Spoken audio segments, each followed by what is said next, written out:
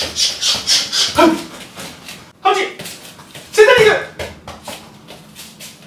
決めろ決めろ。パスパス。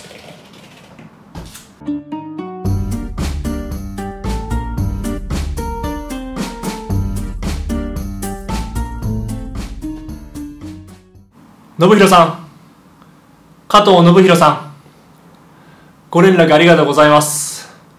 そして申し訳ございません。あの加藤信弘さんっていうねあのサッカー界では知らない人はいないあのスーパーゴールキーパーがいるんですよ。あの浦和レッズで大宮アルディージャで京都サンガ FC で今あの京都の抹茶モーレ京都山城というチームの監督兼選手をやられている方で本当にねあのサッカー界ではかなりの有名な方で結論、えー加藤信弘さんから3個にね獲得オファーがありました。ちょっとねあのツイッターこういうメッセージが来たんです。ちょちょっと見てください。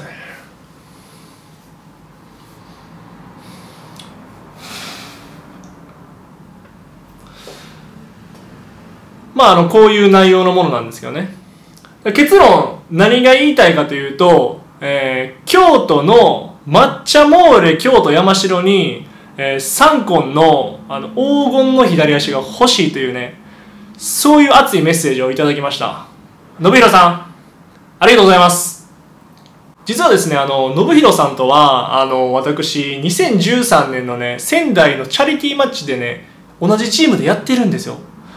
おそらく信弘さんは私に三根に気づいてないでしょう。しかも私は「ああ信弘さんや」「加藤信弘や」っていうふうに見てました。見てくださいこれ。あのー、三根信弘さん。ね。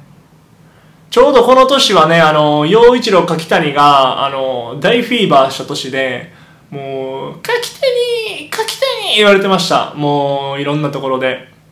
でその中で私もひっそりこう隠れて隠れてプレーしてましたけれども。そんなねあの本当にね J リーグ界において日本サッカー界において素晴らしいこの信弘さんに、えー獲得オファーお声掛けいただいたことはもう本当にねありがたく嬉しいか嬉しくないかで言うたらそれはもう嬉しいですよ。ただ三ン今回のオファー信弘さん申し訳ございません。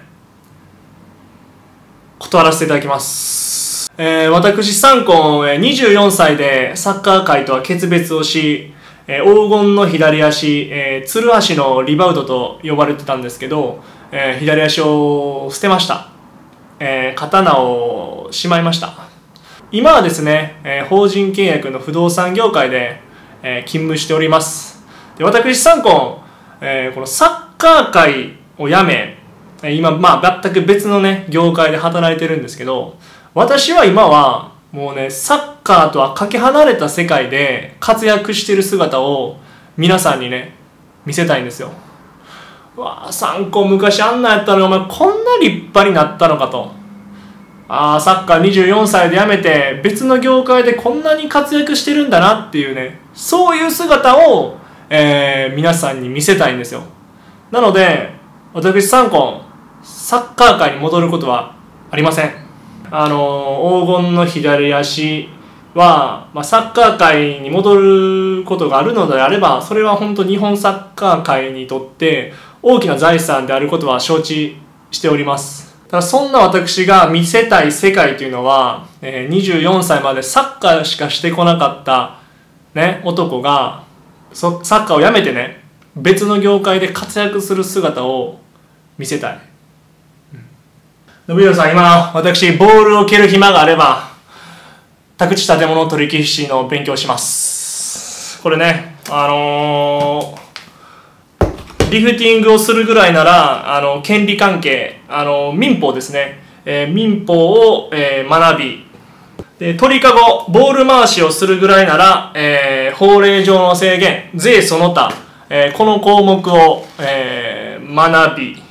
であのポストプレーからの、えーセンタリングからのヘディングを練習するぐらいであれば今私あの宅建業法を、えー、学びたいと考えております。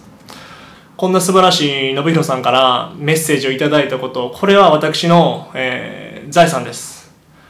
ツイッターのメッセージもあのスクリーンショットをして、えー、携帯の iPhone にね残しております。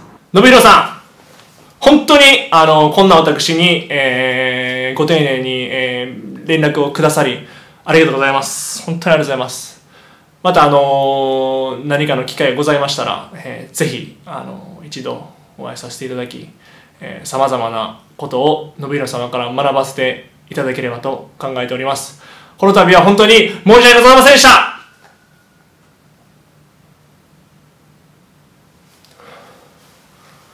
お前もお前もお前も